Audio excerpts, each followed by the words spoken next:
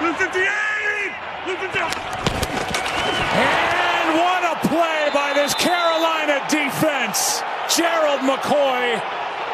He almost made the play the last time they got down here when Aaron Jones was able to punch it in. And uh, this time he just beats him right off the snap. I was a little surprised that Aaron Rodgers used hard count down here. It holds that offensive line on their heels a little bit.